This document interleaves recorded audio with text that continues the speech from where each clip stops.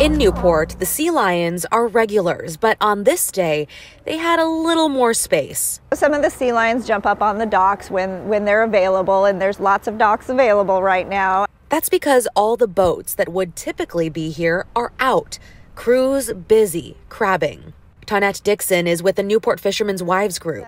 At 9 o'clock uh, this morning, the fleet was able to start pulling pots. So they dumped their pots three days ago, and now they're able to start harvesting the crab. This is our first uh, crab season that's going to open on time in about seven years.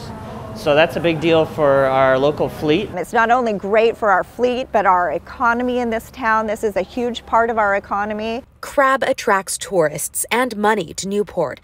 Tony Bixler, general manager at Local Ocean Seafoods, says Dungeness crab is the backbone of the economy here. Almost every table that comes in is going, Where's the crab? Where's the crab? Amber Morris is a fishmonger at Local Ocean Seafood. Uh, fish goddess, actually. Excuse me, fish goddess. She says they're getting calls all the time.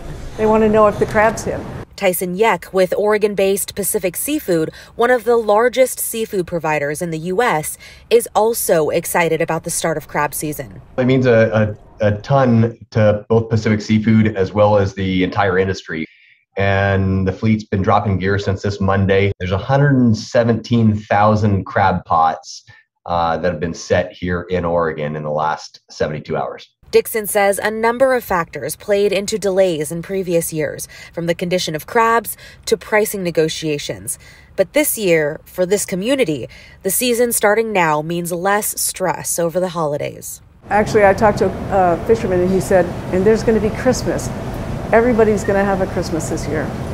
There'll be presents under the tree. Being able to not worry about bills, I mean, it's just a, it's a weight lifted from all of us. People are really excited. I think it brings a lot of uh, hope and cheer into the community, um, and that trickles down into everybody else too. Here at Local Ocean Seafoods, they're expecting to have crab ready to serve up by tomorrow. Of course, that is welcome news to crab lovers in town and out. In Newport, Christine Pitawanich, KGW News.